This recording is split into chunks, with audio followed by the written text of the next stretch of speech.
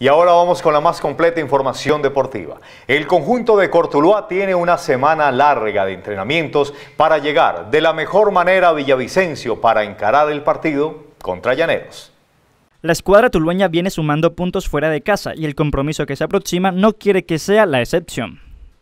Eh, sabemos que venimos de un triunfo, eh, contentos, eh, seguir trabajando porque sabemos de que se nos viene un rival como los Llaneros que viene de ganar y sabemos de que allá va a ser duro conseguir los tres puntos, pero igual vamos a ir a, pelear y a, seguir jugando a lo que venimos jugando, ¿no?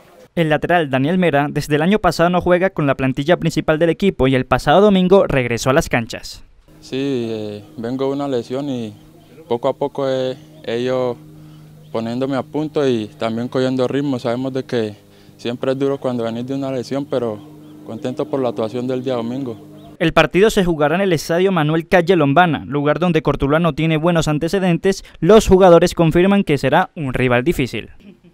Sí, una plaza dura. Sabemos también de que, como te lo digo, nuevamente el rival que viene de ganar y también sabemos de que la temperatura allá es un poco alta, pero acá también estamos casi a la igualdad y debemos de ir a sacar los tres puntos que es nuestro objetivo. Eh, primero que todo hay que estar tranquilo y tranquilo, sabemos que una cancha sintética, eh, pues calienta mucho, está tranquilo y pues tener las opciones para concretarla, que es lo importante. No será un partido fácil y habrá que buscar todas las maneras para sumar como visitante.